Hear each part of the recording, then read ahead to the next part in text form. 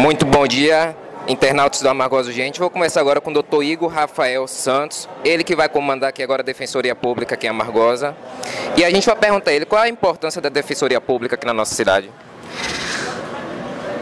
Bom dia. A importância da Defensoria Pública na, na cidade de Amargosa, como a população carente que há cerca de cinco anos não conta com serviço da Defensoria Pública na cidade, já sabe, ela é única.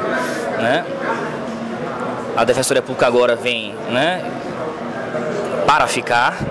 A pretensão é da Defensoria da Comarca de Amargosa não ficar mais sem, sem nenhum representante da Defensoria Pública tenho plena consciência dessa necessidade, a demanda reprimida que existe no, no, município, mas justamente por estar ciente, há uma força de vontade, não só minha, enquanto representante da instituição na cidade, mas também da administração geral, em contribuir materialmente com o servidor, com estagiários. Fico desde já convocando aos estudantes de direito da cidade de Amargosa que tenho interesse em estagiar na Defensoria Pública, juntamente comigo, né, sob minha orientação e minha coordenação, que procurem aqui a, a sede da Defensoria Pública, que nos próximos meses vai ser no fórum, na sede do fórum, no segundo andar, para já procurar, já procurar e se apresentar e eventualmente ser cadastrado aí para exercer o estágio. Doutor, essa é uma luta que nossa amiga Cassilene está lutando mais ou menos há cinco anos. Como é que vocês veem assim, a luta dela para conseguir um defensor público aqui na cidade de Amargosa?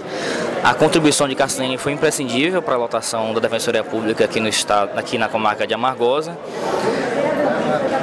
Eu sou da última leva de defensores nomeados, nomeados em junho, então somos três defensores que agora estão sendo designados ao interior.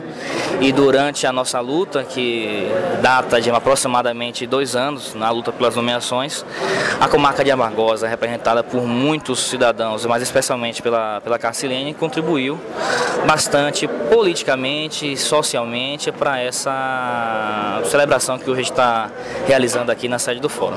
Doutor, não irei alongar mais, que daqui a pouco começa. Quero saber agora as suas considerações finais. Eu quero deixar claro para a população que a Defensoria Pública, a partir de amanhã, estará de portas abertas a toda a população carente, aquela população que não tem condição financeira de arcar com os honorários de um advogado. Me coloco à disposição, não tenho qualquer pudor ou limitação de atendimento. Eu tenho ciência de que a demanda é muito grande, então nesse início de trabalho principal mistério meu vai ser eleger as prioridades, selecionar as prioridades das prioridades para fazer esse tipo de, de seleção e eu conto também com o apoio da, da, da população, dos órgãos públicos também, para contribuir com o trabalho da Defensoria Pública aqui em Amargosa. Muito obrigado, doutor. De nada, eu agradeço o espaço e a Defensoria Pública está de portas abertas para a população através de todos os meios de comunicação que tiverem interesse em cobrar informação, cobrar trabalho Estaremos. Pronto, estou à disposição. Obrigado.